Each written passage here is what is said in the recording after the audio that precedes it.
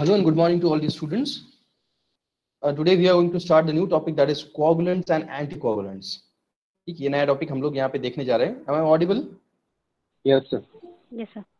ठीक है so coagulants and anticoagulants ये टॉपिक हम लोग देखने जा रहे हैं one by one we are going to see ये uh, छोटा टॉपिक है एक्चुअली बड़ा टॉपिक नहीं है सो अकॉर्डिंगली विल प्रोसीड दूसरी बात okay so will start the topic coagulants and anticoagulants. तो उसमें फ़र्स्ट हम लोग देखेंगे coagulation process.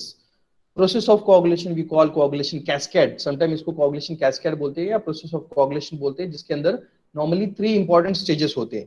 ठीक है फ़र्स्ट स्टेज होता है formation of thromboplastin normally thromboplastin ये फॉर्मेशन एक्सटेंसिक पाथवे का होता है, जो हम लोग आगे देखने वाले एक्सटेंसिक पाथवे थ्रोम्बोप्लास्टिन ये टिश्यू फैक्टर होता है. ये कहीं ना कहीं कोगुलेशन प्रोसेस में इन्वॉल्व होता है क्लॉडिंग प्रोसेस में इन्वॉल्व होता है, ठीक है? दूसरी बात नेक्स्ट जो रहेगा next next step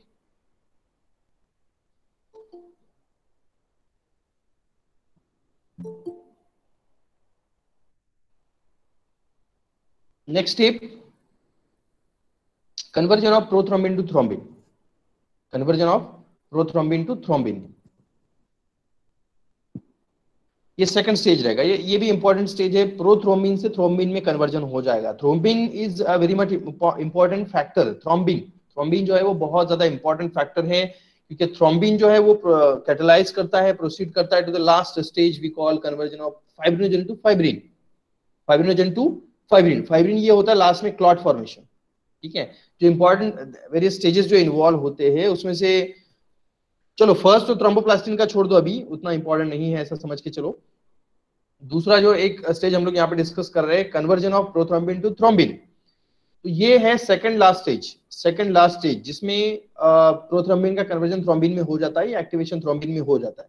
Now this thrombin is responsible for conversion of fibrinogen to fibrin ठीक है लास्ट जो स्टेज है फाइब्रिनोजन टू फाइब्रिन उसके लिए थ्रोम्बिन कैटालाइज करता है। अगर थ्रोम्बिन फॉर्म होगा, या थ्रोम्बिन अवेलेबल रहेगा तो ही फाइब्रिनोजन का कन्वर्जन फाइब्रिन में होगा. एंड अ से fibrin is the last clot fibrin is the last clot fibrin जो है वो लास्ट क्लॉट है या क्लॉट का क्लॉटिंग प्रोसेस का लास्ट प्रोडक्ट है. ठीक है? Fibrin fibrin next coagulation phases की अगर हम लोग बात करते हैं तो there are two pathways for the coagulation process या कैस्केड ऑफ़ कोगुलेशन इसमें दो रहेगा intrinsic pathway and extrinsic pathway intrinsic inside extrinsic outside ठीक है?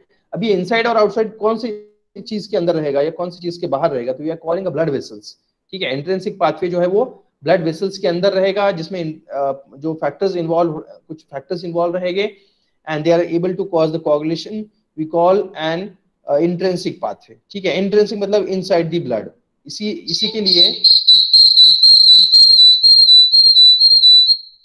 जो कोगुलेशन ये पाथवे के लिए जो फैक्टर्स लगते हैं इंट्रेंसिक पाथवे के लिए, वो inside the blood vessels present रहेगी, ठीक है?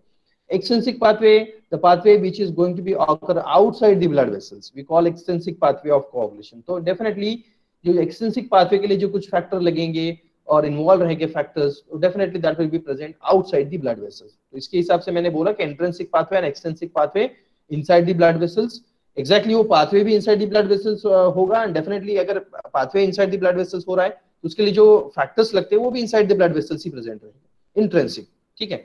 एक्सटेंसिक पाथवे भी आउटसाइड द ब्लड वेसल्स हो रहा है तो डेफिनेटली उसके लिए जो फैक्टर्स लगेंगे, वो भी आउटसाइड द ब्लड वेसल्स ही प्रेजेंट रहेंगे। तो ये इंट्रेंसिक और एक्सटेंसिक का ये डिफरेंस रहेगा।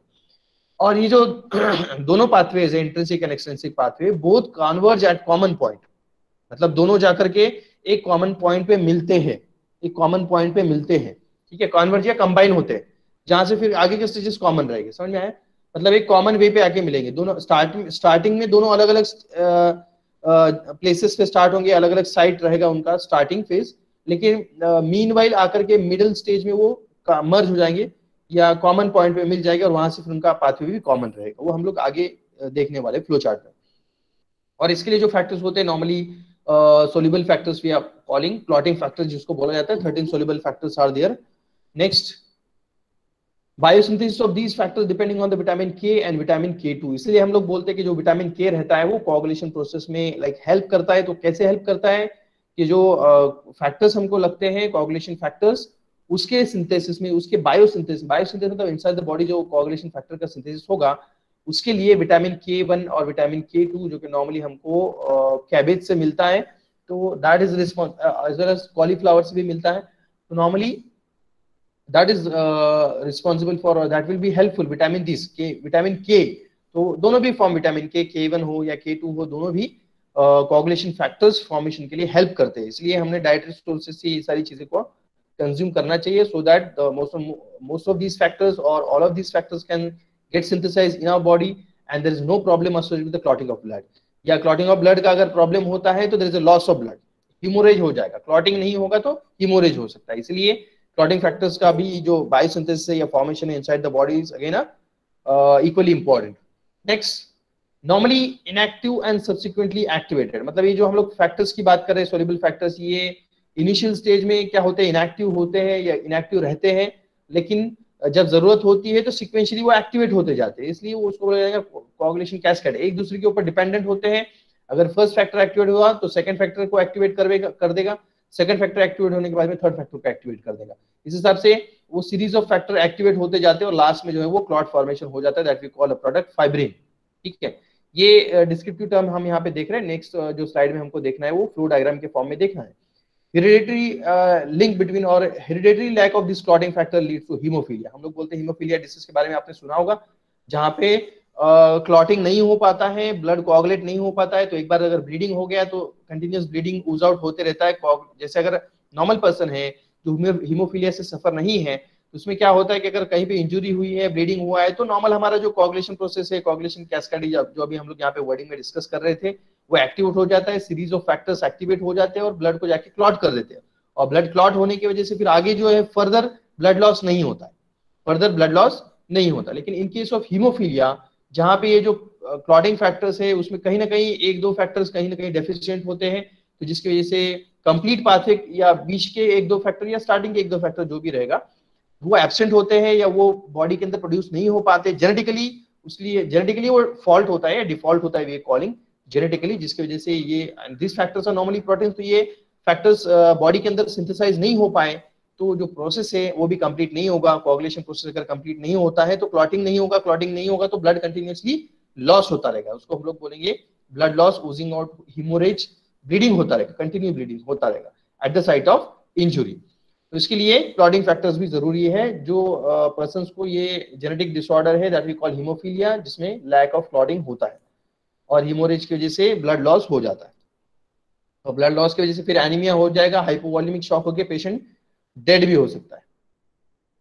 नेक्स्ट अभी हम लोग बात कर रहे थे इंट्रेंसिक और एक्सटेंसिक पाथवे का तो इंट्रेंसिक पाथवे में ऑल जो क्लॉटिंग फैक्टर्स है which are present within blood vessels और ये जो इंट्रेंसिक पाथवे होता है समवॉट स्लोअर होता है स्लो uh, चलता है ये थोड़ा बहुत as compare to extrinsic pathway intrinsic pathway somewhat slower activated partially मतलब इसमें जो फैक्टर्स होते हैं वो पार्शियली एक्टिवेट हो जाते हैं फिर बाद में फाइनल इसका एक्टिवेशन होता है। एक्सटेंसिक पाथवे की अगर हम लोग कंपेरेटिवली बात करते हैं तो it is initiated outside the blood vessels as I told extrinsic pathway तो वो आउटसाइड द ब्लड वेसल्स में Uh, काम करता है वर्क करता है या definitely it is going to be occur in outside the blood vessels we call extrinsic pathway जिसमें टिश्यू फैक्टर्स इन्वॉल्व होते हैं। ठीक है?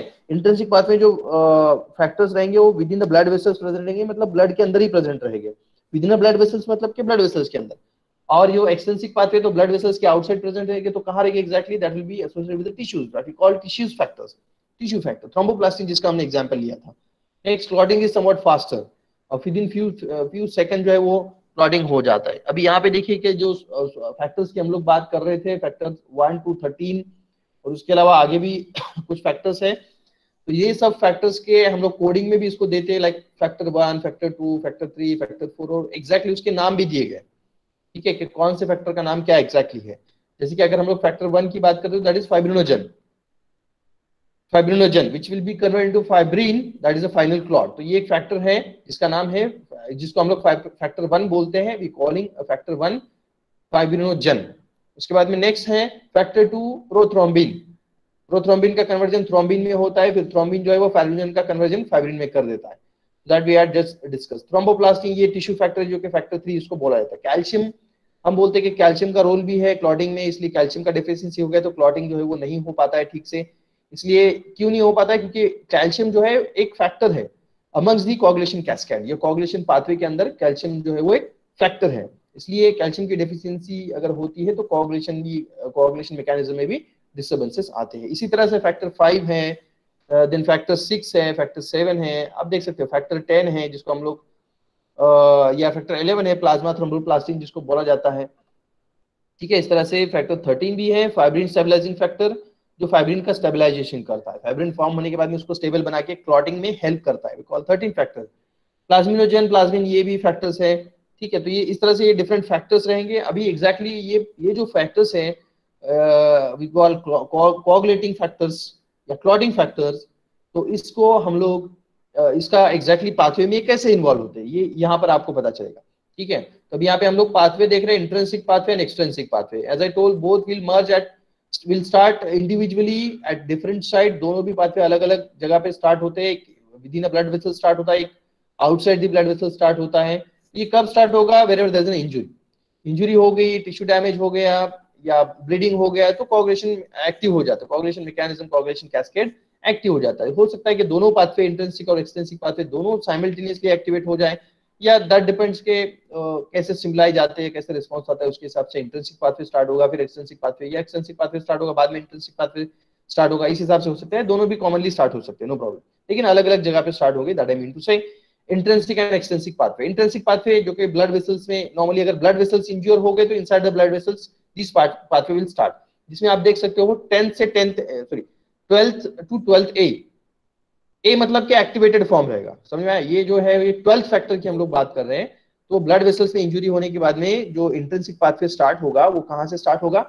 ट्वेल्थ वाला, सबसे पहले ट्वेल्थ फैक्टर जो है, वो ये आपको व्हाइट में दिख रहा है ट्वेल्थ लिखा हुआ है रोमन ट्वेल्थ तो वो एक्टिवेट हो जाएगा Roman twelfth in in twelfth A मतलब के ट्वेल्थ ए क्या रहेगा? Twelfth A is activated form of factor twelve A जहाँ पे आ गया, इसका मतलब ए सफिक्स वहाँ पे आ गया, इसका मतलब क्या रहेगा?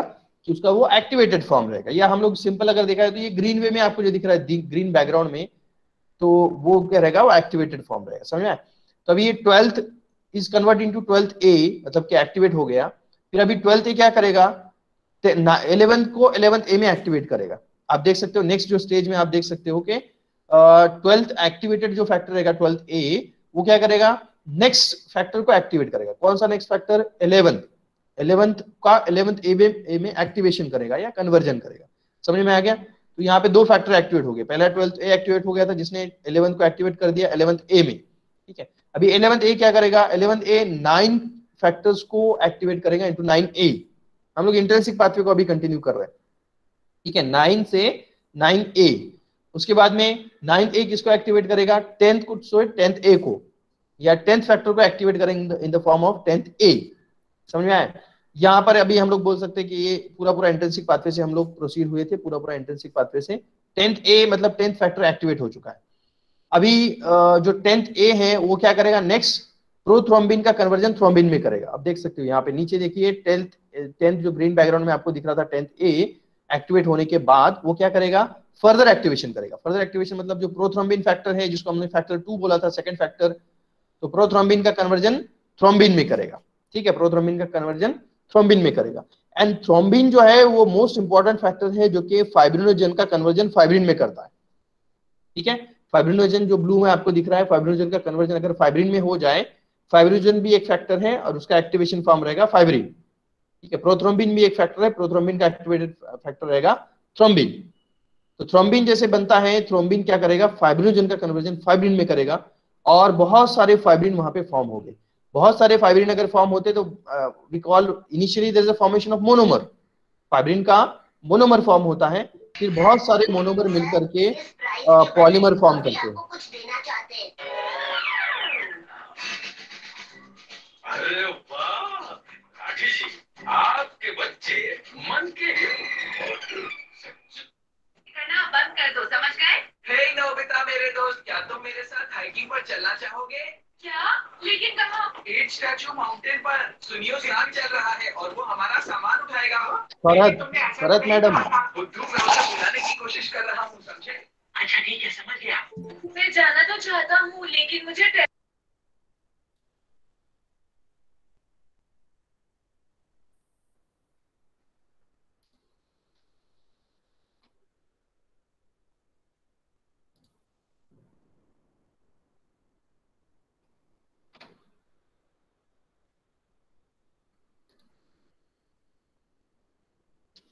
हाँ तो हम लोग बात कर रहे थे कि प्रोथ्रोम्बिन का कन्वर्जन थ्रोम्बिन में हो जाएगा और थ्रोम्बिन जो है वो फाइनल क्लॉट फॉर्मेशन में इन्वॉल्व होता है, जैसे कि थ्रोम्बिन जो है वो हेल्प करता है फाइब्रोजन फाइब्रोजन का कन्वर्जन फाइब्रिन में। ठीक है? और फाइब्रिन जो है, ये जो है वो फाइनल क्लॉट है।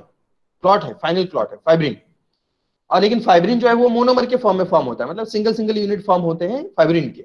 और ऐसे ही जो सिंगल सिंगल यूनिट है फाइब्रिन के, वो कन्वर्जन वो वो पॉलीमराइजेशन हो करके पॉलीमर फॉर्म करते हैं एंटायर फाइब्रिन पॉलीमर फॉर्म करते हैं या फाइब्रिन पॉलीमर फॉर्म करते हैं। मोनोमर से मतलब ये तो आपको कंसेप्ट पता है कि number of monomers are joint together to form polymer so like in same way fibrin के जो मोनोमर्स रहेंगे, सारे सारे ज्वाइंट हो जाएँगे और फाइब्रिन पॉलीमर फॉर्म करेंगे, जो कि इंटैक्ट क्लॉट रहेगा इंटैक्ट क्लॉट रहेगा। समझ में तो ये है एग्जैक्टली exactly हमने पूरा इंट्रेंसिक पाथवे को कंप्लीट किया यहाँ पर, कि जहाँ पर जो है वो twelfth factor sorry thirteen factor जो है वो फाइब्रिन है फाइब्रिन पॉलीमर ये जो हमने बोला था ये सब हो गया। तो we had started with intrinsic pathway blood injury होने के बाद में ट्वेल्थ से twelfth A twelfth A will activate eleven to eleven A then eleven eleventh जो है वो इलेवेंथ ए एक्टिवेट करेगा। नाइन्थ को नाइन्थ ए में ninth A will activate tenth factor to tenth A फिर टेंथ ए एक्टिवेट करेगा prothrombin to thrombin thrombin में thrombin will convert this fibrinogen to fibrin और fibrin monomers फॉर्म होने के बाद में is a say polymerization of the fibrin monomers and formation of the fibrin polymer, that is exactly the clot. ठीक है? मतलब यहाँ पे क्लॉटिंग प्रोसेस कंप्लीट होता है क्लॉट फॉर्मेशन हो जाता है ब्लड जो है रुक जाता है, या ब्लड जो है ऊजिंग आउट या ब्लड फ्लो रुक जाता है हिमोरेज रुक जाता है। ठीक है? नेक्स्ट अभी हम लोग एक्सटेंसिव पाथवे की बात करते हैं। एक्सटेंसिव पाथवे ये एक्सटेंसिव मतलब आउटसाइड द ब्लड वेसल्स होगा टिश्यू फैक्टर्स नॉर्मली इसमें इन्वॉल्व हो जाते हैं। तो जब इंजुरी होती है और टिश्यू अगर डैमेज हो रहे हैं तो वहाँ से एक फैक्टर इन्वॉल्व होता है that we call tissue factor that we call thromboplastin ठीक है? जब जैसे मैंने बोला कि टिश्यू इंजरी होती है तो आउटसाइड द ब्लड वेसल्स ये टिश्यूज में से कुछ फैक्टर्स या एक फैक्टर रिलीज़ होता है वी कॉल थ्रोम्बोप्लास्टिन जिसको हम लोग टिश्यू फैक्टर भी बोलते हैं thromboplastin that will activate seventh sorry seven to seventh A that will convert seven to seventh A दिख रहा है आपको इमेज में, आप देख सकते हो सेवेंथ वाला जो फैक्टर है, वो एक्टिवेट हो जाएगा in the form of seventh A in presence of thromboplastin जो कि टिश्यू फैक्टर है। ये कैटलाइज करेगा, या कैटलिस्ट का काम करेगा एक्टिवेशन का काम करेगा थ्रोम्बोप्लास्टिन तो जैसे सेवन से सेवेंथ ए एक्टिवेट हो गया अभी सेवेंथ ए विल कन्वर्ट और activate this tenth to tenth A समझ आएगा सेवेंथ एक्टिवेटेड फैक्टर जो रहेगा, वो टेंथ से टेंथ ए को एक्टिवेट कर देगा। मतलब टेंथ ए जो ये, यहाँ पे हम लोग जो बोलते हैं कॉमन यहाँ पे इंट्रेंसिक और एक्सटेंसिक पाथवे जो कॉमनली मर्ज होते हैं, वो ये वाला पार्ट है। ठीक है? मतलब दोनों भी पाथवेज इधर it may be extrinsic pathway या इंट्रेंसिक पाथवे जो भी है तो वो दोनों जाकर के ये टेंथ वाला जो फैक्टर है, यहाँ पे आके मर्ज हो जाते टेंथ वाला जो फैक्टर है, यहाँ पे आके मर्ज हो जाते दोनों भी। मतलब दोनों भी एट द मिड में ऐसा रहेंगे कि टेंथ फैक्टर को एक्टिवेट करेंगे into tenth A into tenth A और फिर टेंथ ए आगे आगे सेम काम करेगा। मतलब यहाँ से कॉमन पाथवे कंटिन्यू हो जाएगा। Prothrombin to thrombin thrombin will activate this fibrin into fibrin monomer and fibrin monomer will convert to fibrin polymers, जो कि क्लॉट रहेगा। तो इसीलिए हम लोग बोल रहे हैं कि ये जो है, ये कॉमन या मर्जिंग पॉइंट है दोनों का that is of intrinsic pathway and extrinsic pathway का। समझ में आया? तो इस तरह से रहेगा। अभी और इसमें डिस्कस करने वाली चीज़ है, ये तो आपको समझ में आ गया होगा कि what is this extrinsic and intrinsic pathway जिसमें वेरियस फैक्टर्स इन्वॉल्व होते हैं। सीरीज़ सीरियली वो एक्टिवेट होते हैं, एक दूसरे को एक्टिवेट करते जाते हैं और at the at the last there a formation of fibrin might you had seen this pathway earlier also इसके पहले भी आपने कभी देखा होगा नो प्रॉब्लम अभी इसमें जो बैकग्राउंड वाले जो कलर है, उसके हिसाब से भी कुछ चीज़ें हमको यहाँ पे यूजफुल होती है। तो कौन कौन सी चीज़ें रहेगी? लाइक फॉर एग्ज़ाम्पल हमने बोला कि जो ग्रीन वाले ग्रीन बैकग्राउंड वाले जो फैक्टर्स है these are factor affected by heparin factor affected by heparin मतलब ये अगर हम लोग बोलते हैं twelfth A eleventh A ninth A tenth A ये जो आपका थ्रोम्बिन ये ग्रीन बैकग्राउंड में आपको जो दिख रहे हैं ये सब के सब फैक्टर जो है वो अफेक्टेड बाय हिपैरिन है। अफेक्टेड बाय हिपैरिन मतलब heparin is actually the anticoagulant हम लोग यहाँ पे कौन सा मैकेनिज्म दे रहे हैं? uh, कौन सा मैकेनिज्म देख रहे हैं? कोआगुलेशन का। हम लोग कोआगुलेशन का मैकेनिज्म देख रहे हैं। नो प्रॉब्लम लेकिन जो एंटीकोगुलेंट्स है एंटीकोगुलेंट्स तो एंटीकोगुलेंट्स क्या करते हैं? Anticoagulants will interfere in this pathway anticoagulant will inhibit this pathway anticoagulant will block this pathway ठीक है? तो वो कहाँ कहाँ पे ब्लॉक करते हैं? कौन कौन से फैक्टर को जाके वो इनएक्टिवेट कर देते हैं ताकि वो आगे का पाथवे कंटिन्यू कंटिन्यू ना हो और क्लॉट फॉर्मेशन ना हो? या there is a delay in coagulation we call anticoagulants तो इसके लिए हिपैरिन जो एग्जांपल है, वो एंटीकोगुलेंट का एग्जांपल है। आपको भी पता है ये नेचुरली लीवर में प्रोड्यूस होता है। Actually heparin is a naturally present in our body and it is acting as anticoagulant मतलब वो ब्लड को क्लॉट होने नहीं देता है। Sometime we need coagulation of blood and many times we need anticoagulants, heparin to be active so that there is no clotting of blood inside the blood vessels. ठीक है? Normal blood flow के लिए clotting नहीं होना चाहिए, लेकिन जब injury हो जाती है तो वहाँ पे क्लॉटिंग होना चाहिए। इसलिए दोनों भी पाथवे इक्वली रोल प्ले करते हैं इक्वली इंपॉर्टेंट होते हैं हमारे लिए। That is coagulation and anticoagulation ठीक है? तो कोगुलेंट्स के अभी हमने पाथवे डिस्कस किया। एंटीकोगुलेंट्स का हम लोग मैकेनिज्म डिस्कस कर रहे थे कि वो एग्जैक्टली exactly यहाँ पे कहाँ एग्जैक्टली एक्ट करते हैं। हिपैरिन जो है वो एंटीकोगुलेंट है। नॉर्मली ये ग्रीन कलर बैकग्राउंड वाले फैक्टर से वो वहाँ पे वो इंटरप्ट कर सकता है और उसको इनएक्टिवेट करता है। जैसे कि हिपैरिन ने अगर ये ट्वेल्थ ए को इनएक्टिवेट कर दिया ट्वेल्थ ए को इनएक्टिवेट कर दिया तो क्या होगा? फिर आगे जो कन्वर्जन है इलेवंथ ए का इलेवंथ इलेवंथ का इलेवंथ ए में नहीं होगा। एक्जैक्टली इलेवंथ ए अगर फॉर्म ही नहीं होता है तो टेंथ या सॉरी नाइन्थ का नाइन्थ ए में कन्वर्जन नहीं होगा। फिर टेंथ का टेंथ ए में कन्वर्जन नहीं होगा। आगे का पूरा पाथवे नहीं होगा। ठीक है? तो ये सब जो है वो हिपैरिन एक्ट करने वाले फैक्टर्स है। मतलब उसके ऊपर एक्ट करके हिपेरिन जो है वो एंटीकोगुलेंट इफ़ेक्ट शो करेगा। Next vitamin K dependent factor by oral anticoagulants affected by oral anticoagulant तो येलो बैकग्राउंड में जो दिख रहे हैं आपको वो विटामिन के डिपेंडेंट फैक्टर है, जिसके मतलब जिसको जिसके सिंथेसिस के लिए विटामिन के लगता है, जिसके आप देख सकते हो कि नाइन्थ फैक्टर येलो बैकग्राउंड में दिख रहा है, आपको टेंथ फैक्टर येलो बैकग्राउंड में दिख रहा है सेवंथ फैक्टर येलो बैकग्राउंड में दिख रहा है। प्रोथ्रोम्बिन ये भी येलो बैकग्राउंड में आपको दिख रहा है। तो ये जो फैक्टर्स थे नॉर्मली ये विटामिन के डिपेंडेंट फैक्टर जिसको बोला जाता है। Why we are calling vitamin K dependent factor क्योंकि इसका जो बायोसिंथेसिस है वो डिपेंड होता है विटामिन के के इनटेक के ऊपर। या हम लोग अगर डाइटरी सोर्सेज से विटामिन के ले रहे हैं या हमारे बॉडी के अंदर विटामिन के अवेलेबल है तो ये फैक्टर्स इजीली सिंथेसाइज हो जाएँगे।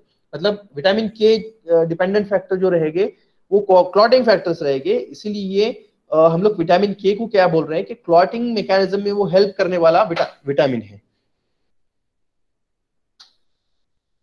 क्लॉटिंग क्लॉटिंग क्लॉटिंग पाथवे में या कोगुलेशन पाथवे में हेल्प करने वाला विटामिन है, क्योंकि वो कुछ फैक्टर्स के सिंथेसिस में इन्वॉल्व होता है। और कौन से वो फैक्टर्स है? अभी हमने देखा कि नाइन्थ टेंथ एंड प्रोथ्रोम्बिक ये विटामिन के डिपेंडेंट फैक्टर्स है। अफेक्टेड बाय ओरल एंटीकोगुलेंट्स तो मतलब अभी ये इसमें दो चीज़ें क्लियर हो रही है कि ये विटामिन के से बायोसिंथेसाइज इन फैक्टर्स का होता है एज वेल एज दूसरी चीज़ ये रहेगा कि ये, इसके ऊपर जो ओरली एंटीकोगुलेंट्स हम लोग लेते हैं, क्योंकि हिपैरिन नॉर्मली इंजेक्टेबल रूट से लिया जाता है, और हिपैरिन हमारे बॉडी के अंदर भी प्रेजेंट होता है। दूसरी जो दूसरी जो बात है that is the anticoagulant oral anticoagulants जो हिपैरिन से अलग रहेंगे और ओरली जिसको एडमिनिस्ट्रेट किया जा सकता है, उसके एग्ज़ाम्पल भी हम लोग आगे देखने वाले हैं। तो वो सब के सब एंटीकोगुलेंट जो है, वो ये येलो वाले बैकग्राउंड वाले जो फैक्टर्स है विटामिन के डिपेंडेंट फैक्टर्स उसके ऊपर एक्ट करेंगे। उसको जो है वो इनएक्टिवेट कर देंगे, कहीं पे, कहीं कहीं ना कहीं वो पैथो को इंटरप्ट करेंगे, जिसकी वजह से कोगुलेशन नहीं होगा and hence that producing the anticoagulant effect anticoagulant effect यहाँ पे बहुत सारी चीज़ें आपको क्लियर हुई कि कोगुलेशन कैसे होता है। और एंटीकोगुलेंट जो होते हैं, वो कैसे एक्ट करते हैं, वो कैसे फैक्टर वो पैथवे को कैसे इंटरप्ट करते हैं इनिबिट करते हैं, ये भी हमने यहाँ पे देखा। नेक्स्ट अभी नॉर्मली जो रहेगा, अभी इसके बाद वर्डिंग वाली चीज़ें रहेगी जो हम लोग डिस्कस करने वाले हैं। Coagulants as a told what are coagulants coagulants क्या होते हैं? These are the agent which use in the treatment of severe haemorrhage मतलब ये जो कोगुलेंट्स है, हम लोग कब यूज़ करते हैं? जब सीवियर हेमोरेज हो जाए और ब्लडिंग को ब्लड को स्टॉप करना है कोगुलेट करना है तो in that case we are using coagulant so these actually causes coagulation हम लोग ऐसा बोल सकते हैं। These are the agent which causes the coagulation and use in the treatment of severe haemorrhage bleeding को रोकने के लिए ब्लीडिंग को कम करने के लिए या जहाँ पे सीवियर हिमोरेज है, वहाँ पे हम लोग ये कोगुलेंट्स यूज़ करते हैं। Coagulants are these coagulants are causing blood coagulation definitely this coagulants are causing blood coagulation example thrombin है मेनाडायोन है। इसका एग्जांपल यही है एज वेल एज इसको हम लोग क्लासिफिकेशन भी बोल सकते हैं। समझ में आ रहा है क्या? ये जो चीज़ हम लोग डिस्कस कर रहे हैं ये डेफिनेशन ऑफ़ द कोगुलेंट्स है as well as the classification of coagulants है ऐसे हम लोग बोल सकते हैं। समझ में आया? तो डेफिनेशन uh, बोलोगे तो क्या बोल सकते हैं कोगुलेंट्स का? Coagulants are the agent which causes the coagulation of blood and use in the treatment of severe haemorrhage ये हो गया डेफिनेशन एग्जांपल और क्लासिफिकेशन बोल तो कौन कौन से एग्जांपल है? थ्रोम्बिन थ्रोम्बिन अभी हमने देखा कि थ्रोम्बिन ये एक फैक्टर था कोगुलेशन मैकेनिज्म में। तो डेफिनेटली ये थ्रोम्बिन अवेलेबल रहेगा। फार्मास्यूटिकली भी in the form of dosage form also thrombin is available. We are we are no, no doubt we are collecting from human plasma human blood से ही उसको isolate किया जाता है। लेकिन वो हम लोग हम लोग को उसको फार्मास्यूटिकली हम उसको यूज़ कर सकते हैं। That I mean to say thrombin menadione ये एक्चुअली इसको विटामिन के का ही एक फॉर्म बोला जाता है मेनाडायोन तो विटामिन के दिया जाएगा तो विटामिन के या मेनाडाइन के फॉर्म में अगर हम लोग विटामिन के लेते हैं so in that case that will be helpful for the formation of coagulation factor coagulation factor अगर फॉर्म होते हैं बायोसिंथेसिस होता है तो that will help in the coagulation तो इसके हिसाब से ये मेनाडायोन जो रहेगा, ये भी कोगुलेंट्स हम इसको लेते हैं as a drug as a pharmaceutical product दूसरी बात एंटीकोगुलेंट्स अभी हमने देखा कोगुलेंट्स क्या होते हैं, उसके एग्जांपल क्या है? एंटीकोगुलेंट्स उसको अगर हम लोग डिफाइन करना जाए करना चाहे तो क्या रहेगा? Anticoagulants are the drugs which delay in the blood coagulation तो कोगुलेंट्स ब्लड कोगुलेशन को प्रमोट करते हैं और anticoagulants delays the blood coagulation और which will prevent the blood coagulation they prolong the coagulation times prolongation time sorry coagulation time prolong करते हैं, बढ़ाते हैं उसको hence there is delay in the blood coagulation they are used in the treatment of preventing the thrombosis thrombosis मतलब अगर blood uh, circulation में अगर कहीं पे क्लॉट फॉर्म हो जाते हैं तो उसका वो फॉर्मेशन जो है वो बहुत डेंजरस होता है। क्लॉट फॉर्मेशन क्योंकि वो ब्लड फ्लो में इंटरप्ट करेंगे। हो सकता है कि वो थ्रोम्बोस जो फॉर्म होगा due to the formation of clot वो जाकर के ब्लड वेसल्स में uh, कहीं पे जाके ब्लॉक कर दे और ब्लड सर्कुलेशन को इंटरप्ट कर दे। ब्लड सर्कुलेशन को इंटरप्ट कर हो गया। So that leads to atherosclerosis बोल सकते हैं या call a blockage of the blood vessels irrigation block हो, जाएगा। नॉर्मली coronary blood vessels के केस में अगर ऐसा हो गया तो हार्ट अटैक हो सकता है। थ्रोम्बोसिस वी कॉल थ्रोम्बोसिस ठीक है? थ्रोम्बोसिस मतलब थ्रोम्बोस जो फॉर्म होता है वो ब्लड सर्कुलेशन के साथ फ्लो होगा और वो जाकर के कहीं पे चोकअप करेगा। चोकअप करने की वजह से हार्ट अटैक हो सकता है या मेजर सर्कुलेशन जहाँ पर है या पैरालिसिस हो सकता है ये सारी चीज़ें हो सकती है जिसको हम लोग थ्रोम्बोसिस बोलते हैं।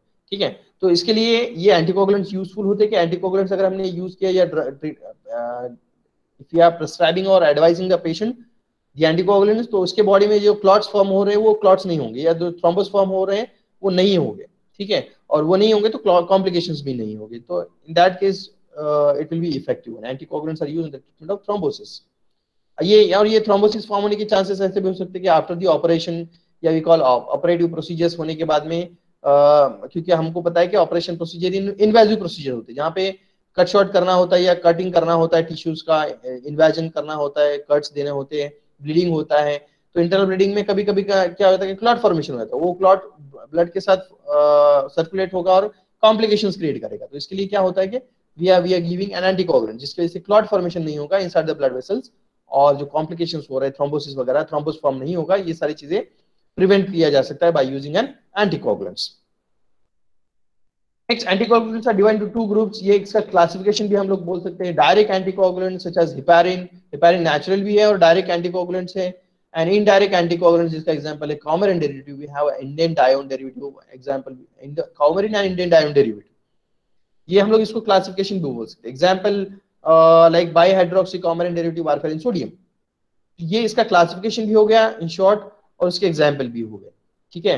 डेफिनेशन वाला पार्ट हमने प्रीवियस स्लाइड में देख लिया है। तो यहाँ पे हम लोग देख रहे हैं क्लासिफिकेशन तो क्लासिफिकेशन ऑफ़ एंटीकोगुलेंट्स अगर हम आप लिखना चाहो तो ये दो ही इसके अंदर क्लास आएँगे। डायरेक्ट एंटीकोगुलेंट्स और इनडायरेक्ट एंटीकोगुलेंट्स डायरेक्ट एंटीकोगुलेंट्स का एग्जांपल है हिपैरिन इनडायरेक्ट एंटीकोगुलेंट्स का एग्जांपल है coumarin and Indian dione derivative उसके एग्जांपल है sodium bihydroxycoumarin derivative we have example coumarin uh, sorry uh, warfarin sodium warfarin sodium ये उसके example हो गए। तो यहाँ पर हो गया क्लासिफिकेशन अभी हम लोग देख रहे हैं ड्रग्स प्रोडक्ट तो पहला जो एग्ज़ाम्पल देखेंगे हम लोग, वो कोगुलेंट्स में से देखेंगे। कौन से इसमें से देखेंगे? कोगुलेंट्स में से देखेंगे, जो कि ब्लड क्लॉट करते हैं। तो thrombin is example of coagulants thrombin is example of coagulants normally we are calling dried thrombin और ये हमको कहाँ से मिलता है? It is sterile protein substance prepared from human plasma and it is freeze dried मतलब उसको स्टोर करने के लिए हम लोग उसको फ्रीज ड्राइड करते हैं या प्रिपरेशन में भी फ्रीज ड्राइड करके उसको बनाया जाता है। फ्रीज ड्राइंग प्रोसेस से उसको ड्राई करके बनाया क्योंकि थर्मोलेबाइल होता है। हीट से वो डिग्रेड हो सकता है और as it is having chemical nature protein as I told that it is aryl protein और ये कहाँ से होता है? ब्लड प्लाज्मा से हम इसको कलेक्ट करते हैं और ये प्रोटीन होता है। प्रोटीन का अगर डीनेचुरेशन हो जाए तो इनएक्टिवेट हो जाएगा। तो थ्रोमिन इनएक्टिवेट अगर हो गया तो वो जो फाइब्रोजन को फाइब्रिन का कन्वर्जन कर रहा था, वो नहीं कर पाएगा ठीक है? वो नहीं कर पाएगा। तो ये सेकंड लास्ट प्रोडक्ट है अगर मैं आपको बताऊँ कि हमने जो पाथवेज देखे इंटेंसिक एंड एक्सटेंसिक पाथवेज इसमें जो लास्ट जो स्टेप था फाइब्रिनोजन टू फाइब्रिन उससे पहले जब था, जो वो प्रोथ्रोम्बिन टू थ्रोम्बिन था।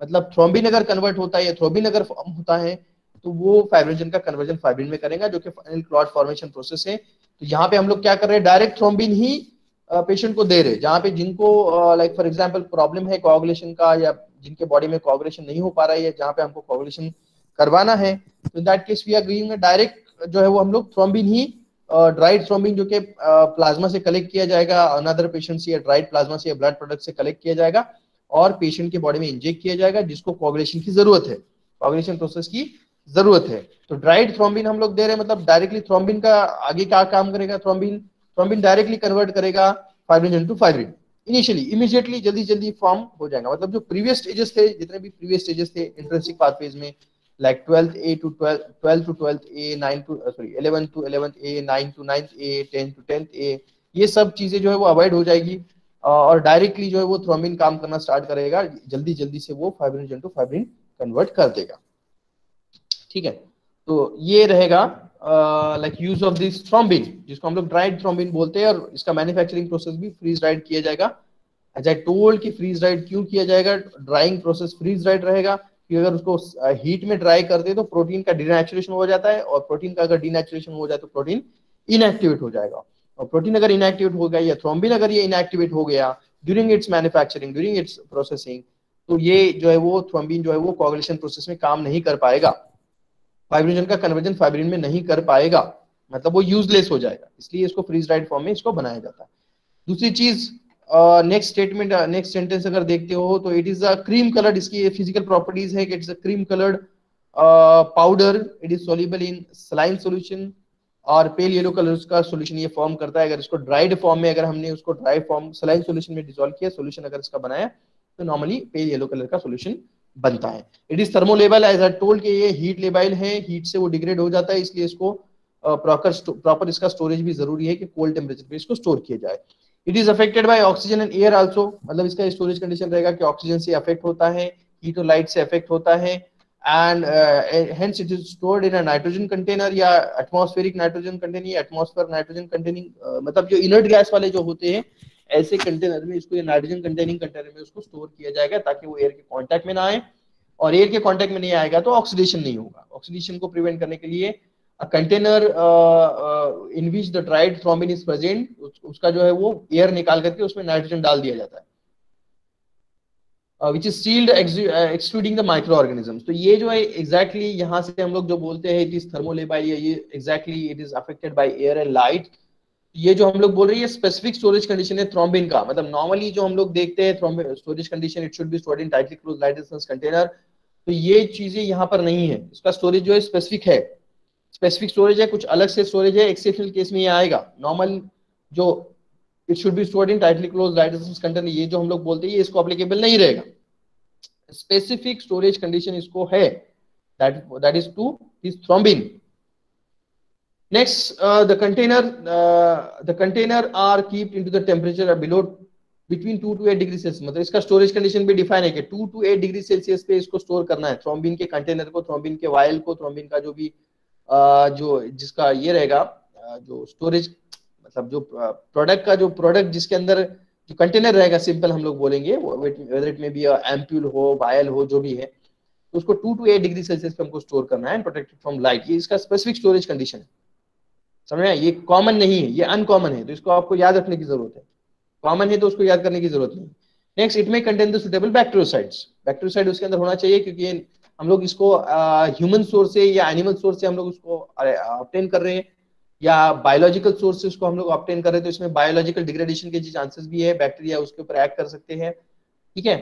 तो इसके लिए हम लोग उसमें बैक्टीरियासाइडल एजेंट भी यूज़ कर सकते हैं एज अ प्रिजर्वेटिव तो जो कि ड्राइड थ्रोम्बिन को प्रिजर्व करेंगे। उसमें बैक्टीरियल ग्रोथ होने नहीं देंगे। While while its storage time while its shelf life next uh, एक नोट यहाँ पे दिया गया कि solution of the thrombin should be use within few hours अगर हमने ड्राइड थ्रोम्बिन का सॉल्यूशन बनाया और सॉल्यूशन नॉर्मली सलाइन सॉल्यूशन में बनाना होता है और अगर हमने ऐसा बनाया इसमें तो क्या होगा कि we have to use it within few hours उसको हम लोग ज़्यादा देर स्टोर करके नहीं रख सकते। ड्राइड फॉर्म में अगर रखा जाए तो बहुत दिनों तक स्टोर रहेगा। May be one to year तक वो स्टोर रह सकता है ड्राइड थ्रोम्बिन लेकिन उसका सोल्यूशन बना दिया तो within few hours we have to use it else it will get degraded next are to be injected ये इंजेक्ट कर सकते हैं। Next it is use as an coagulants definitely coagulants use कर सकते हैं। टॉपिकली भी इसको अप्लाई कर सकते हैं ड्राइड फॉर्म में टायर या स्पॉन्ज फॉर्म में। माइनर ऊजिंग जहाँ पे ब्लड हो रहा है ब्लीडिंग हो रहा है तो वहाँ पे हम लोग ऊपर से भी उसको अप्लाई कर सकते हैं। थ्रोम्बिन को, जो कि थ्रोम्बिन फॉरन वहीं के वहीं ब्लड क्लॉट करने में हेल्प कर देगा।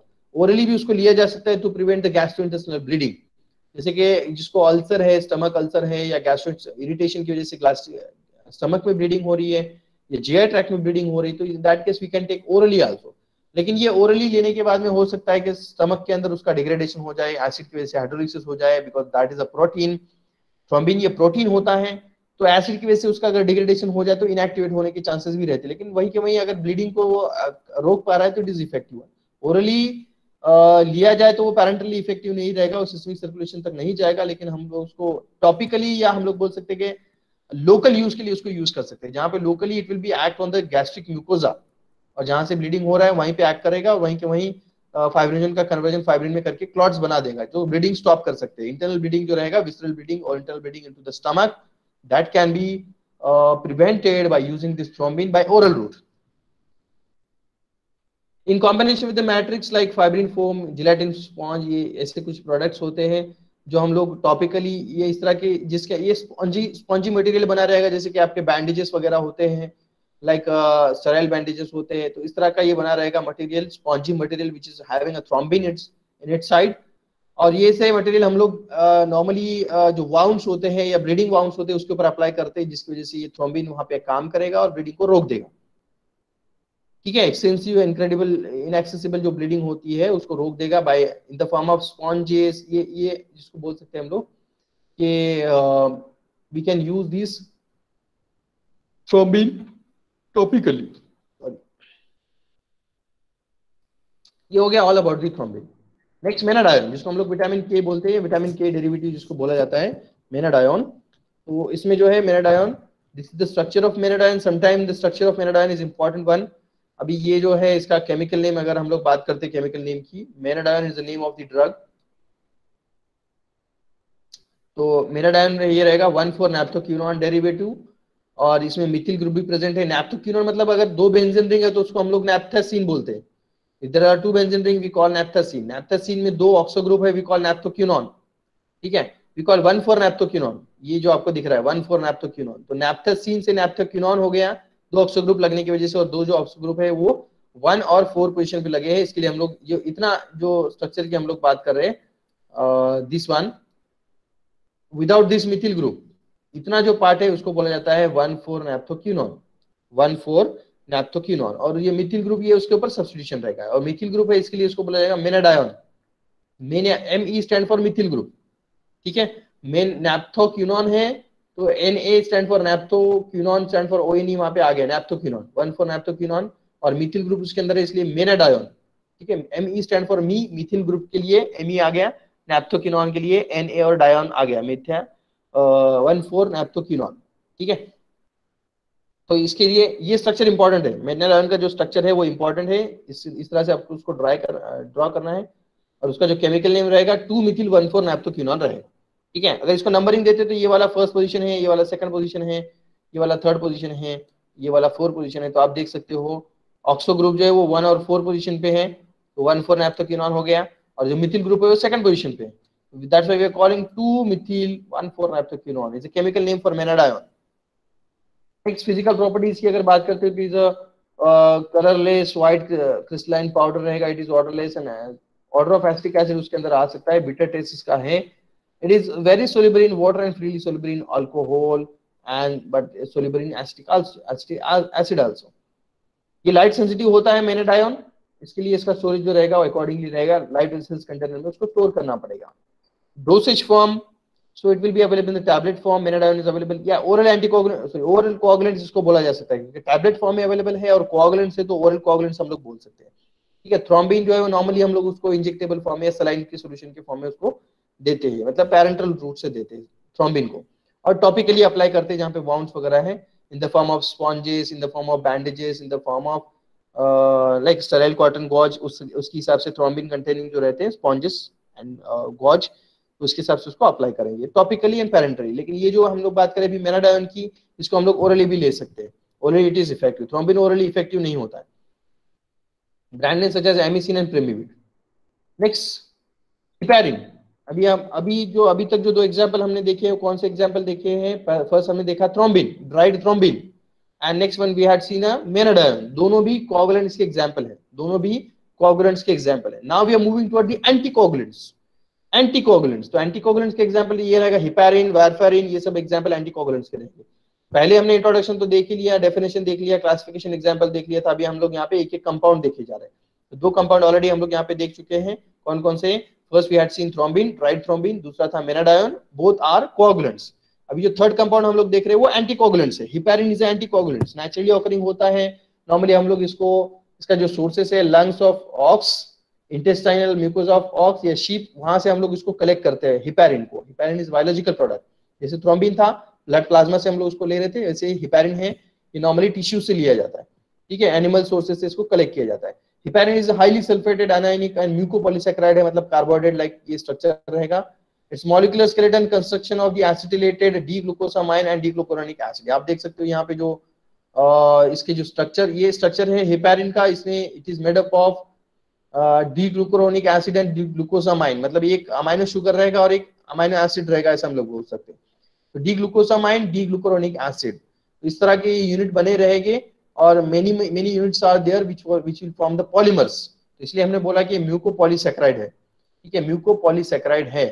Heparin is a mucopolysaccharide polysaccharide मतलब डेफिनेटली ये कार्बोहाइड्रेट रहेगा, लेकिन ये मोनोमर नहीं है पॉलीमर है। पॉलीमर किसका बना हुआ है? डी ग्लूकोजामाइन और डी ग्लूकोरोनिक एसिड का ये एक मोनोमर रहेगा। ये ऐसे monomer number of monomers are joint together in order to form polymer we call a heparin we call a heparin ठीक है?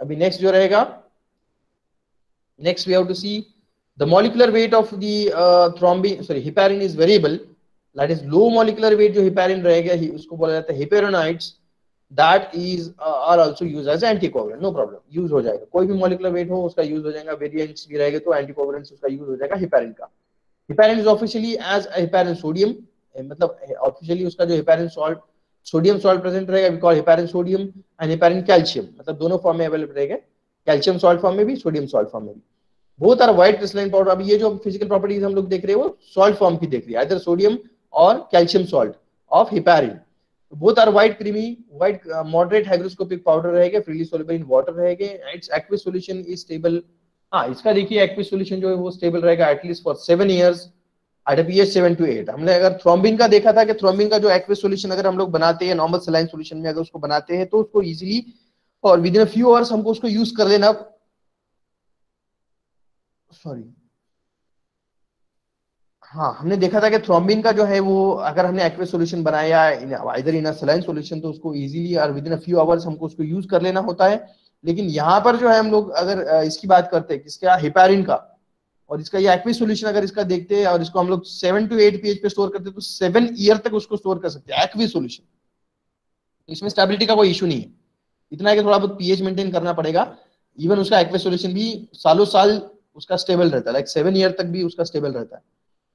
It is stored in sealed container excluding micro organism ये तो देखना पड़ेगा, रखना ही पड़ेगा definitely for prophylaxis and the treatment of the deep vein thrombosis अभी जो एंटीकोगुलेंट्स हम लोग यूज़ करते हैं, वो किस लिए यूज़ करते हैं? थ्रोम्बोसिस के लिए यूज़ करते हैं। जहाँ पे थ्रोम्बस फॉर्म हो जाते हैं क्लॉट फॉर्म हो जाते हैं ब्लड के अंदर तो उसको प्रिवेंट करने के लिए we are using thrombo embolism या थ्रोम्बोसिस को प्रिवेंट करने के लिए हम लोग एंटीकोगुलेंट्स यूज़ करते हैं। Heparin will use in the same way next for the prevention of the thrombosis as I told during the dialysis also मतलब जो हीमोडायलिसिस होता है डायलिसिस के पेशेंट को पहले हेपेरिन के इंजेक्शन दिए जाते हैं। क्योंकि उसका जो ब्लड है, वो बाहर आकर के डायलिसिस यूनिट में उसका जो मतलब बॉडी से बाहर निकलेगा, बराबर, जिसका ब्लड का डायलिसिस करेंगे तो जो डायलिसिस वाला यूनिट रहेगा, वो डेफिनेटली आउटसाइड द बॉडी रहेगा। और उसको हम लोग क्या करेंगे वेन टू वेन कनेक्ट करेंगे तो एक वेन से जो है वो सॉरी एक आर्टरी से जो है वो ब्लड निकलेगा, और दूसरे आर्टरी दूसरे वेन से जो है वो एंटर करेगा।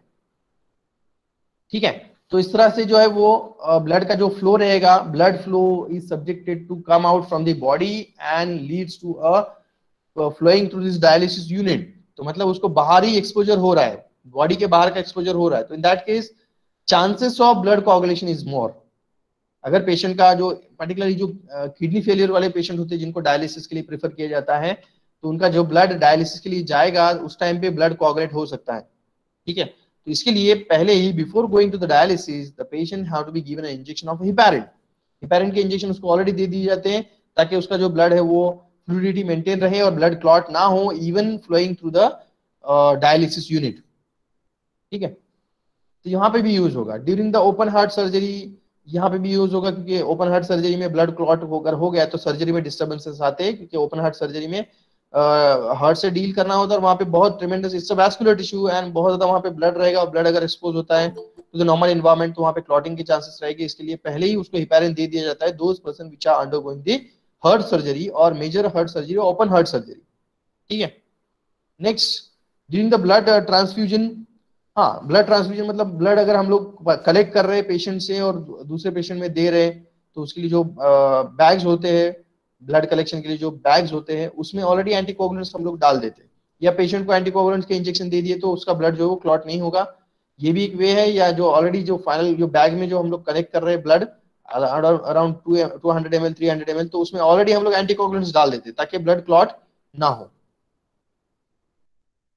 परफेरिन ये अभी जो हमने एग्ज़ाम्पल देखा हिपेरिन का एग्जांपल देखा, जो कि नेचुरल एंटीकोगुलेंट्स था, जो हम लोग बॉडी हमारे बॉडी के अंदर भी प्रेजेंट होता है as well as we are obtaining from the animal sources अभी नेक्स्ट जो ड्रग हम लोग देख रहे हैं वो वारफेरिन है, जो कि सिंथेटिक ड्रग है, जो एनिमल सोर्सेज से मिलता नहीं है, जो हम लोग लेबोरेटरी में सिंथेसाइज करते हैं, इसलिए हम लोग बोल रहे हैं इसको सिंथेटिक और आप देख सकते हो स्ट्रक्चरल फीचर में ये जो, इतना जो न्यूक्लियस होता है, इसको कॉमेरिन न्यूक्लियस बोला बोला जाता है, या by hydroxy coumarin nucleus hydroxy coumarin nucleus उसको बोला जाता है, ये वाला। ठीक है बेंजिन रिंग विद दिस एक इलेक्ट्रॉन रिंग जैसा दिख रहा है आपको six member ring with heteroatom oxygen तो ये जो इतना रिंग जिसको मैंने हाईलाइट किया है तो that is called as coumarin ring that is called as coumarin ring और बाकी की जो है वो सब्सटीट्यूएंट रहेगी. तो warfarin is a coumarin derivative because basic जो हेटेरोसाइक्लिक रिंग रहेगा वो कॉमेरिन रहेगा. Next it is an coumarin derivative as I told it is the most widely used anticoagulants warfarin property में देखा जाए तो warfarin sodium is a white crystalline powder it is colourless odourless has a bitter taste very soluble in water and freely soluble in alcohol. But very slightly soluble in chloroform. And stability storage की बात करते हैं तो it is discoloured by light and air मतलब initially अगर white colour है तो बफ colour हो जाएगा या जो कलर है वो डल हो जाएगा चेंज हो जाएगा that we call a discolouration when we are going to expose to the light and air warfarin को अगर लाइट और एयर को एक्सपोज किया गया तो डिसकलरेशन होता है, इसलिए उसको स्टोरेज जो है वो प्रॉपर रखना पड़ेगा. Hence it is stored in tightly closed light resistance container, as i told, it's a normal and general instruction. For it is uses. Or its uses. किसके यूजेस देख रहे हैं हम लोग? वारफेरिन सोडियम के यूजेस देख रहे हैं। For the prevention and treatment of the deep vein pulmonary embolism मतलब जो थॉम्बस फॉर्म होता है as it is an anticoagulant जैसे हिपैरिन का यूज़ था, वैसे ही ये वारफेरिन सोडियम का भी यूज़ रहेगा। तो हिपैरिन नेचुरल है वारफेरिन जो है वो ये actually it is an synthetic it prevent the myocardial infarction as I told कि हार्ट अटैक को प्रिवेंट करेगा, क्योंकि थ्रोम्बोस फॉर्म नहीं होने देगा। It prevent the systemic embolism यही भी, ये भी वही है कि ब्लड वेसल्स में जो थ्रोम्बस फॉर्म होता है other than coronary blood vessels जो पेरिफेरल ब्लड वेसल्स है, उसमें भी एम्बोलिज्म फॉर्म नहीं होने देगा। Sometime it is for peripheral venous thrombosis peripheral venous thrombosis definitely large use है एज अ रोडेंटिसाइड रोडेंटिसाइड ये उसका नॉन नॉन फार्मास्यूटिकल यूज़ है। रोडेंटिसाइड मतलब which can which can able to kill the rodents which can able to kill the rodents अभी rodents को कैसे कील करता है तो ये क्या करता है, अंदर ब्लीडिंग कर देता है। अगर हमने, जैसे कि रोडेंट्स ने अगर ये कंज्यूम कर लिया गया, या रोडेंटिसाइड्स जो रहते हैं, आपने देखा होगा, जो हम लोग कुछ पेस्ट यूज़ करते हैं, कुछ क्रीम यूज़ कर सकते हैं, या कुछ बिस्किट्स होते हैं, इस तरह से जो है वो रोडेंटिसाइड्स के लिए प्रोडक्ट्स बनते हैं, जो रोडेंट्स खाने के बाद में उसका, वो मर जाते हैं, या उनका अंदर ही अंदर ब्लीडिंग हो जाता है इंटरनल ब्लीडिंग क्योंकि ये एंटीकोगुलेंट्स है तो ब्लीडिंग कर देगा। ठीक है? और एक चीज़ मुझे ये इसके बारे में बताना है अबाउट दिस एंटीकोगुलेंट तो हम तो देखेंगे एक फार्माकोकाइनेटिक पैरामीटर है अबाउट दिस वारफेरिन सोडियम की, ये जो होता है वारफेरिन सोडियम ये ninety eight percent protein bound होता है। कितना होता है brown protein bound 98 percent protein bound रहता है। तो फ्री कितना रहेगा फिर? ओनली टू परसेंट कितना रहेगा? Free only two percent only two percent free drug is ये इतना फ्री रहेगा तो only two percent free drug is sufficient to produce the anticoagulant effect मतलब उसके एंटीकोगुलेंट इफ़ेक्ट के लिए हम लोग जो डोज लेते हैं तो वायरफेरिन सोडियम का जो डोज लेगा, उसमें से 98 परसेंट प्रोटीन बाउंड रहेगा मतलब कि वो एक्टिव नहीं रहेगा, ऐसा हम लोग बोल सकते हैं। और दूसरी बात, जो फ्री फॉर्म रहेगा, वो एक्टिव रहेगा या वो थेरापेटिक इफ़ेक्ट शो करेगा तो कितना फ्री फॉर्म है? Only two percent and that 2% is sufficient to produce its therapeutic effect मतलब कि एंटीकोगुलेंट इफ़ेक्ट प्रोड्यूस करने के लिए 2% सफिशिएंट है। अभी अगर फॉर एग्जांपल इसका प्रोटीन बाइंडिंग अल्टर हो गया due to some other drugs interaction of some other drugs, or due to food and drug interaction, अगर ये प्रोटीन बाइंडिंग अगर अल्टर हो जाता है इंस्टेड ऑफ़ 98 परसेंट अगर मैं बोलूँ आपको कि ये 96 परसेंट अगर हो गया if the protein binding changes to 96 percent तो फ्री कितना हो जाएगा फिर? फोर परसेंट फ्री कितना हो जाएगा? फोर परसेंट अगर फोर परसेंट फ्री होता तो it double it's actually double normal free amount of drug available समझ में आया? प्लाज्मा में प्लाज्मा ड्रग कॉन्सेंट्रेशन में अगर टू परसेंट इज़ सफिशियंट है तो इसके बजाय अगर सपोज़ फोर परसेंट हो गया फोर परसेंट फ्री रह गया ninety six percent protein bind हो गया तो दैट केस क्या होगा? कि डबल ऑफ़ द डोज या double of the drug is available in the free form and that will cause the toxicity तो यहाँ पर भी इंटरनल ब्लीडिंग के चांसेस अगर ह्यूमंस में भी अगर उसका प्रोटीन बाइंडिंग अगर अल्टर हो जाता है वारफारिन को लेने के बाद तो टू परसेंट के बजाय अगर उसका फ्री का जो कॉन्सेंट्रेशन है या free plasma drug concentration is increasing to the four percent तो ये डबल हो जाएगा। दो टू परसेंट इज़ हंड्रेड या इक्वल है या से सफिशियंट है तो फोर परसेंट हो गया तो डबल हो गया। डबल डोज अगर होता है डबल डोज में टॉक्सिसिटी आपको पता है कि कितनी हो जाती है डबल डोज में टॉक्सिसिटी तो इसके लिए प्रोटीन बाइंडिंग जो अल्टर होता है ये बहुत कॉशियसली इसको देखा जाता है। और रोडेंटी साइड में यही होता है कि रोडेंटी साइड में प्रोटीन बाइंडिंग का इशू जो है वो जो, वो उसमें डोज को डिफाइन नहीं होता है, वो बस कंज्यूम कर लेते हैं वारफेरिन सोडियम को, और जिसकी वजह से इंटरनल ब्लीडिंग होने की वजह से रोडेंट्स का डेथ हो जाता है। ये जो रैट्स और माइसेस है, उनका डेथ हो जाता है। तो this can be use as a rodenticides warfarin is a therapeutically use as anticoagulants लेकिन इसको जो नॉन फार्मास्यूटिकल यूज़ है, वो रोडेंटिसाइड भी उसको यूज़ कर सकते हैं। दैट आई मीन टू से ठीक है?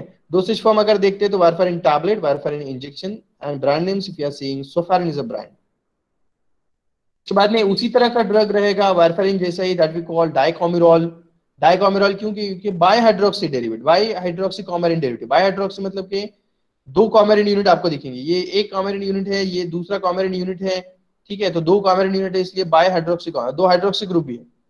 तो इसलिए बोला जाता है इसको बाय हाइड्रोक्सी कॉमेरिन डेरिवेटिव और ये वारफरिन में एक कॉमेरिन होता है डाइकोमिरॉल में dicoumarol name itself indicating di मतलब के टू कॉमिरल मतलब के कॉमिरल यूनिट दो रह गए. ठीक है? इसलिए इसको बोला जाता है बाय हाइड्रोक्सी कॉमिरॉल डेरिवेटिव और di hydroxy coumarol bi hydroxy coumarin is an oral anticoagulant which is a coumarin derivative definitely. It is a white uh, इसका जो प्रॉपर्टी देखें तो white पाउडर uh, है. A faint uh, pleasant odor and slight bitter taste. Practically insoluble in water slightly soluble in chloroform and readily soluble in alkali hydroxide it is discolored in air in presence of light and hence it is stored in tightly closed resistance container hence यहाँ पर जो हमारा topic जो है वो खत्म हो गया है that is the coagulants and anticoagulant जिसमें हमने एग्जांपल देखे थे कौन कौन से we had seen the example of first देखा हमने थ्रोम्बिन दूसरा देखा मेनाडायोन थर्ड हमने देखा कौन सा देखा थिपेरिन फोर्थ वाला जो देखा, वो वारफेरिन सोडियम देखा, ठीक है, जिसका प्रोटीन बाइंडिंग का अभी हमने जस्ट डिस्कस किया था। और लास्ट वन जो देखा है, वो डाइकॉमिरॉल डेरिवेटिव देखा था। डाइकॉमिरॉल जिसमें डाई मतलब के दो कॉमेरिन होते हैं, दो कॉमिरॉल और with hydroxy group that's a dicoumarol is a chemical name for trial name for this given drug dicoumarol जो कि एंटीकोगुलेंट्स है, और यूजेस इसके वारफेरिन जैसे ही रहेंगे। तो यहाँ पे हमारा एक टॉपिक खत्म हो गया है। Now we are moving toward the next topic that we call local anaesthetics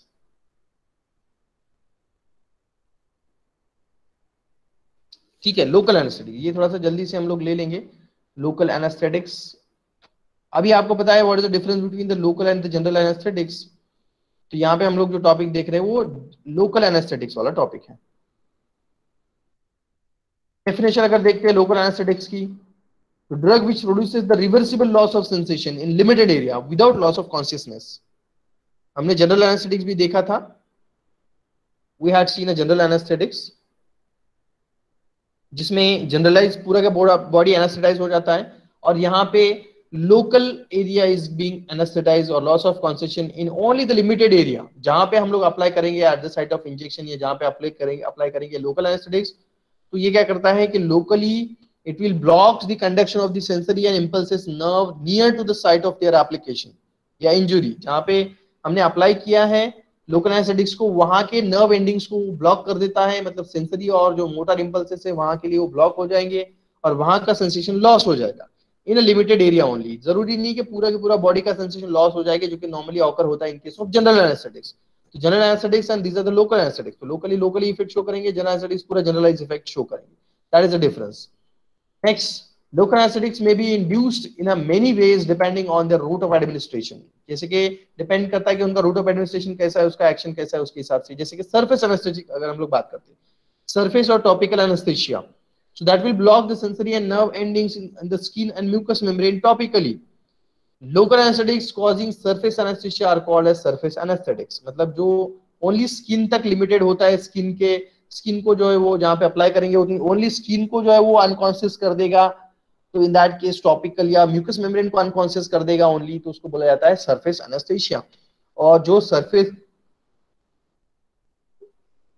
sorry जो लोकल एनेस्थेटिक्स यूज़ किए जाते हैं to in order to induce the surface anaesthesia we call surface anaesthetics we call topical और surface anaesthetics next होता है infiltration anaesthesia जिसमें हम लोग लोकल एनेस्थेटिक्स ही यूज़ करेंगे बट ये जो इनफिल्ट्रेशन एनेस्थेशिया इसमें हम लोग इंजेक्ट करेंगे। It is to be produce by injection directly into the area that is painful और to be subjected for surgical operation मतलब माइनर सर्जरीज परफॉर्म करना है स्टिचेस वगैरह देना है तो इन दैट केस जो डॉक्टर है, वो नॉर्मली लोकल एनेस्थेशिया को प्रेफर करते हैं तो इंजेक्टेबल फॉर्म में दिए जाता मतलब हम लोग यहाँ पे टॉपिकली अप्लाई नहीं कर रहे। समझ में आया क्या? जो फ़र्स्ट केस था, जिसको हम लोग सरफेस एनेस्थेशिया बोला था, या हमने बोला था कि टॉपिकल लोकल एनेस्थेशिया तो हम हम लोग टॉपिकली अप्लाई करें। जैसे कि क्रीम के फॉर्म में ऑइनमेंट के फॉर्म में।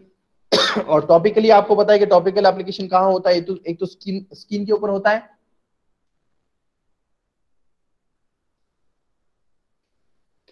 या तो म्यूकस मेम्ब्रेन के ऊपर होता है। तो वो टॉपिकल रहेगा डेफिनेटली यहाँ पे हम लोग टॉपिकली अप्लाई नहीं कर रहे। हैं हम लोग इंजेक्टेबल के फॉर्म में उसको दे रहे हैं। इंजेक्ट इंजेक्ट कहाँ पर कर रहे हैं? जो पर्टिकुलर माइनर सर्जरी जो साइड पे माइनर सर्जरी परफॉर्म करना है या जहाँ पे बहुत ज़्यादा पेन हो रहा है पेन को भी अगर रिलीफ करना है, क्योंकि लोकल एनेस्थेटिक जो है पेन रिलीवर भी काम करते हैं।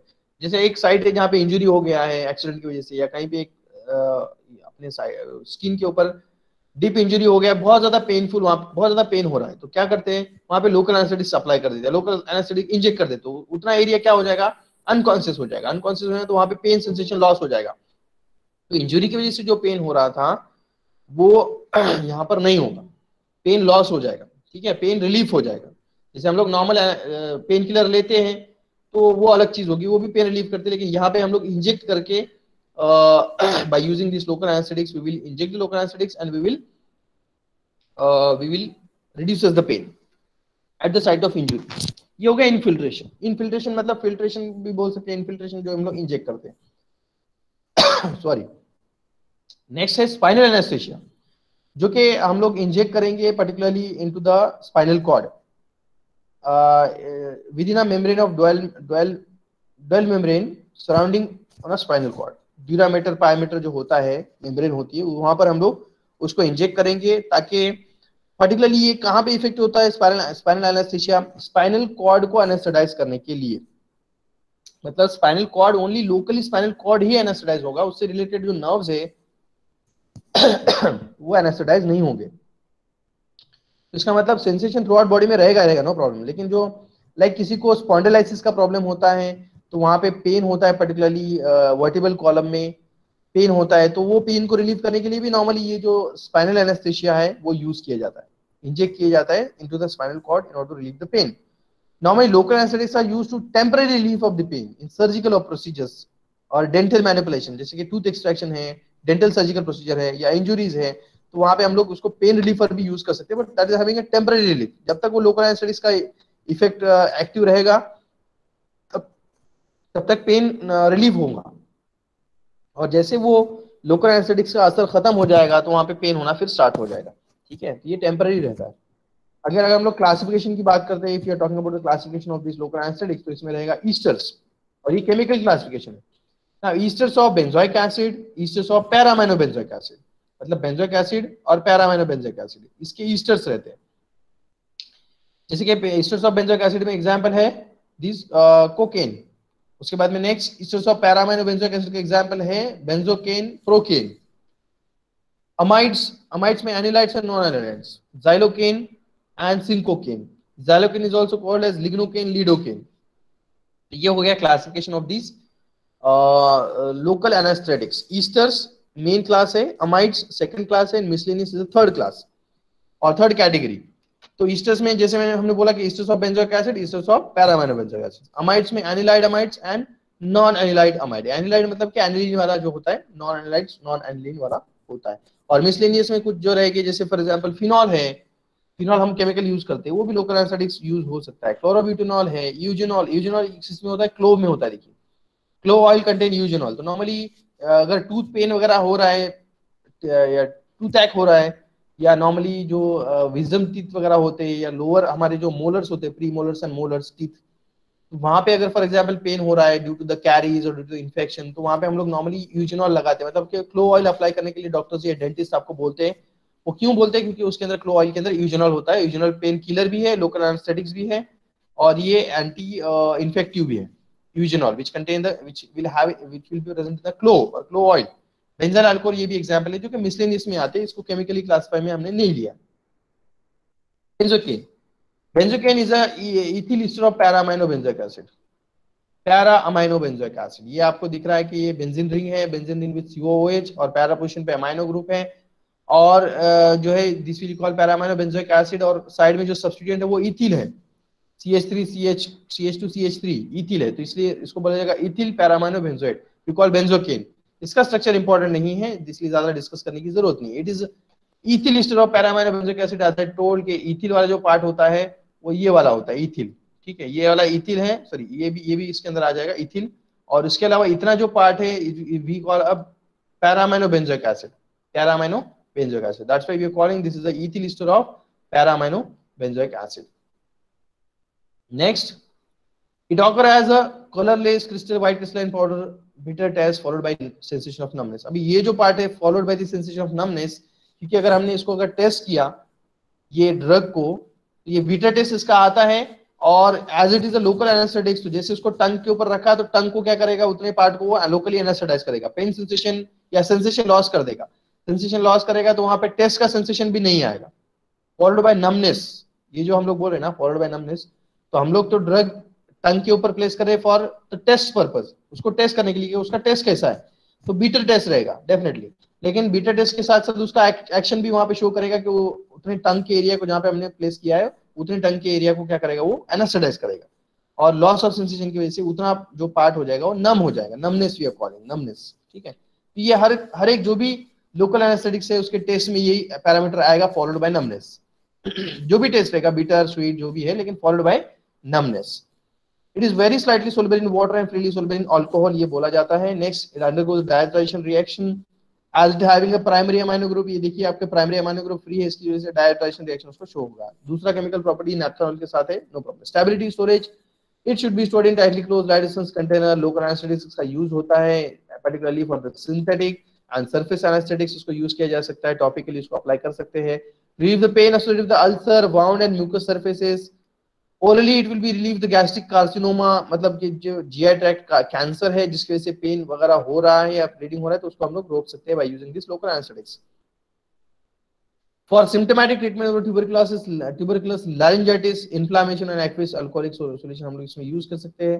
ट्रीटमेंट ऑफ़ प्रूडिटी प्रूडिस मतलब कि जो ईचिंग होता है स्किन ईचिंग फंगल इन्फेक्शन की वजह से भी कभी कभी ईचिंग हो जाता है और ईचिंग वो बहुत ज़्यादा डिस्टर्बिंग होता है तो क्या करते हैं कि लोकल एनेस्थेटिक्स वहाँ पे यूज़ किया जाएगा.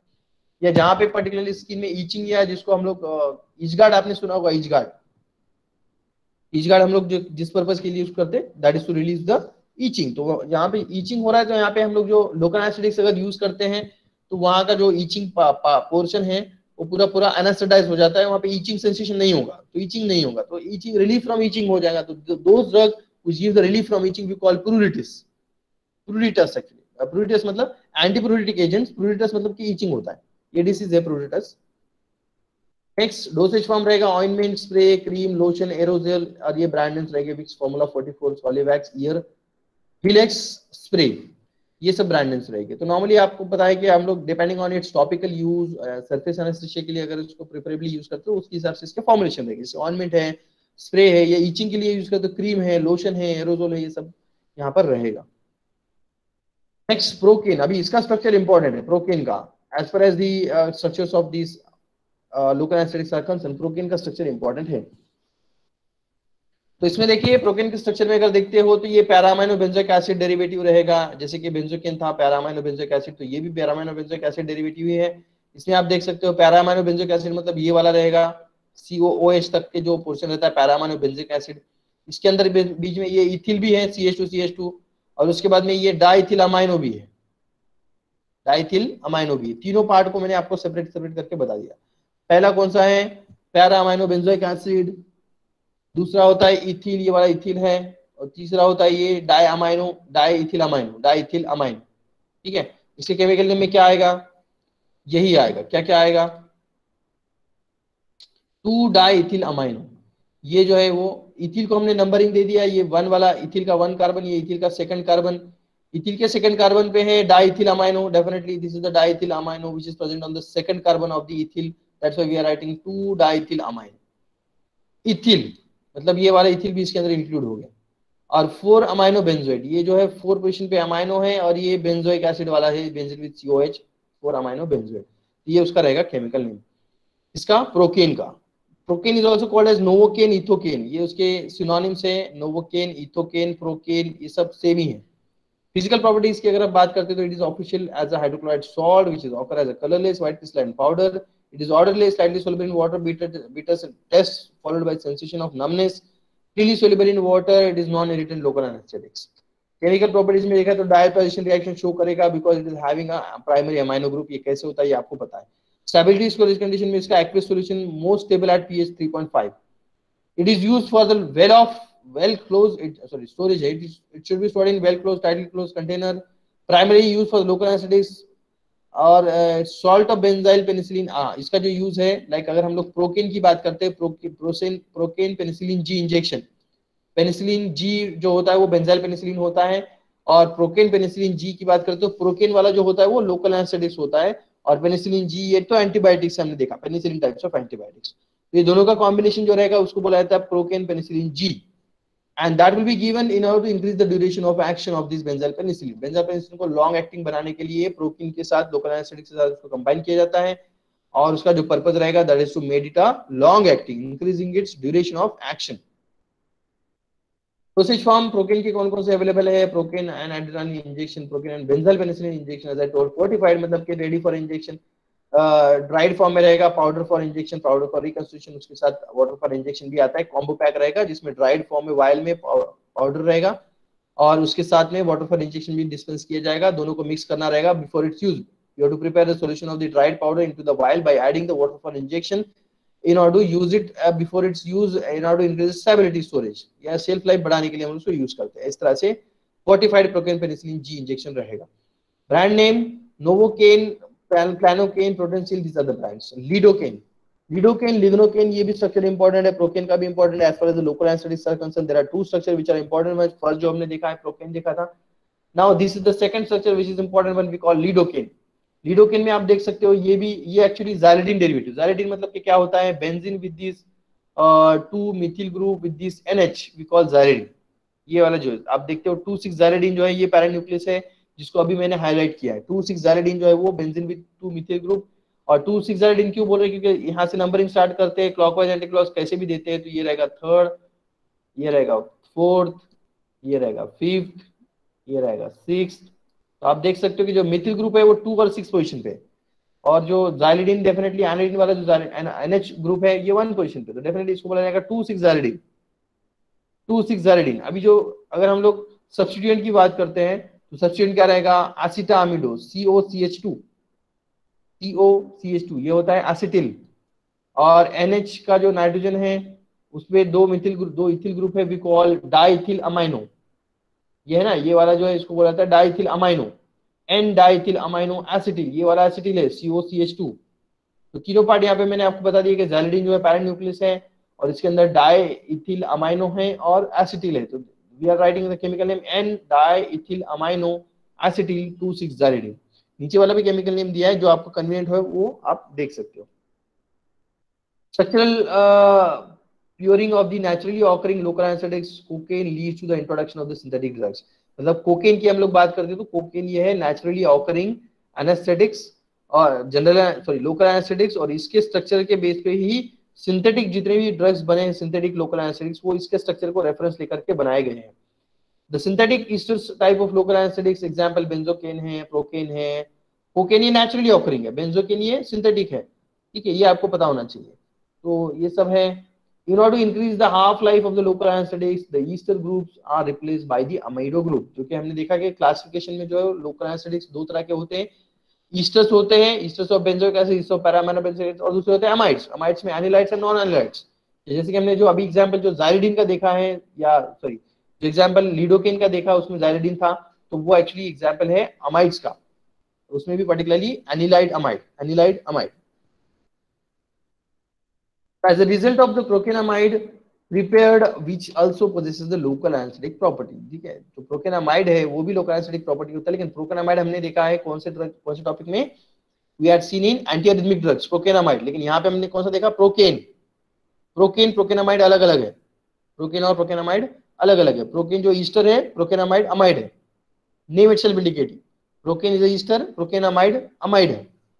तो दोनों भी ड्रग प्रोकेनामाइड हमने देखा था कि ये which we are seen in antiarrhythmic तो एंटीएरिथमिक भी यूज़ होता है लोकल एनेस्थेटिक भी होता है। प्रोकेन जो है वो ओनली लोकल एनेस्थेटिक्स यूज़ होता है, और वो ईस्टर है इस तरह से जो है सेकंड टॉपिक हमारा फिनिश हो गया है local anaesthetics both topics we had seen किसी को कुछ प्रॉब्लम रहेगा तो पूछ सकते हो। If you don't have any difficulty I will try to take take attendance